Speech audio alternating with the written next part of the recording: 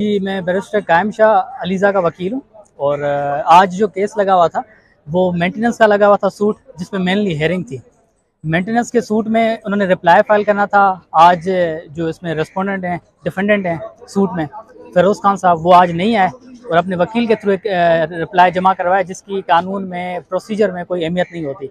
Court ने उनका जवाब वापस कर दिया और इस तरह फ़ाइल ये चीज़ें नहीं होती कोर्ट ने कोर्ट की यही रिमार्क्स है।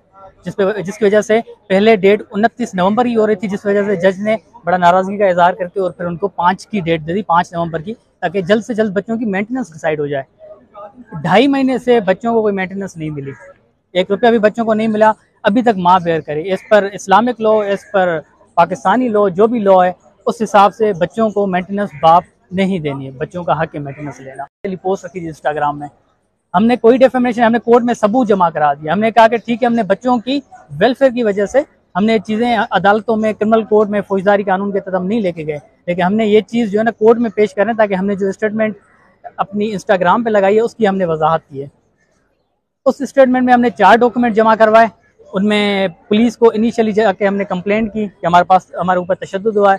उस पर पुलिस ने हमें एमएलओ की तरफ़ रेफ़र किया। वो जाए थाने में, उसका कंप्लीट रिकॉर्ड मिलेगा।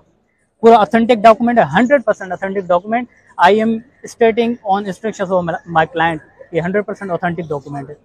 दूसरा हम गए मेडिकल एग्जामिनेशन हुआ है मेडिकल एग्जामिनेशन रिपोर्ट है वो हंड्रेड परसेंट डॉक्यूमेंट है. अगर इनको कोई भी शक है वो चले जाएँ हॉस्पिटल में वहाँ से चेक करवा लें.